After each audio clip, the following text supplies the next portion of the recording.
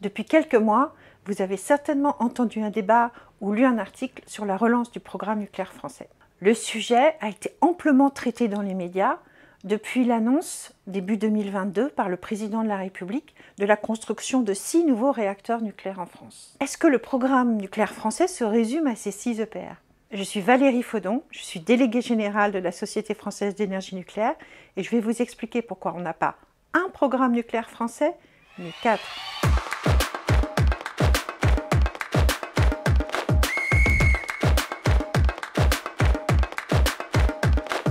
Avant de construire des nouveaux réacteurs, il faut d'abord prolonger les réacteurs actuels. C'est ce qu'on appelle le programme Grand Carénage, en clair, un programme de modernisation et de rénovation des 56 réacteurs actuels. C'est le plus grand programme de ce type dans le monde avec un investissement de près d'un milliard d'euros par réacteur. Aujourd'hui, les premiers réacteurs ont dépassé 40 ans. L'idée, c'est de les exploiter au-delà de 50 ans voire même au-delà de 60 ans. Les travaux sont déjà en cours et plusieurs réacteurs ont déjà terminé avec succès la première phase. Le deuxième programme français, c'est la construction de trois paires d'EPR2, soit six nouveaux réacteurs nucléaires. Les EPR2, pour être précis, sont des réacteurs de troisième génération à forte puissance. Il s'agit de commencer à renouveler le parc nucléaire actuel à la fin des années 2030, quand les premiers réacteurs atteindront les 60 ans. Les EPR sont capables de produire beaucoup d'électricité sur très peu de place. Donc il est prévu de les construire sur les sites nucléaires existants. La technologie est déjà mature, avec trois réacteurs déjà en fonctionnement en Chine et en Finlande, et deux réacteurs en construction au Royaume-Uni. Après le premier chantier de l'EPR de Flamanville qui a connu des retards, il s'agit de lancer un véritable programme industriel pour être capable de construire de manière cadencée et efficace.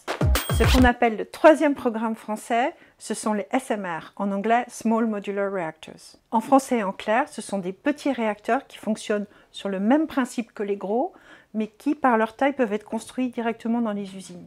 D'ailleurs, ils ne produisent pas que de l'électricité, ils peuvent servir à produire de la chaleur, à produire de l'hydrogène et même à désaliniser l'eau. On prévoit une forte demande de ce type de réacteurs dans le monde pour remplacer les centrales à charbon. La France développe le projet New One. On pourrait commencer la construction d'un premier réacteur en 2030.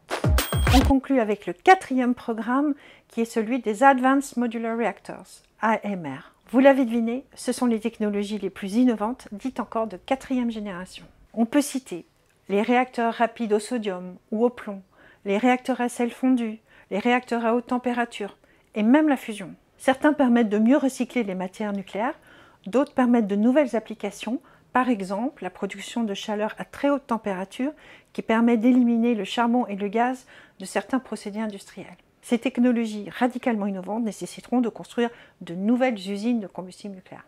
En France, plus de 15 startups ont été créées depuis un an pour répondre à l'appel à projet gouvernemental.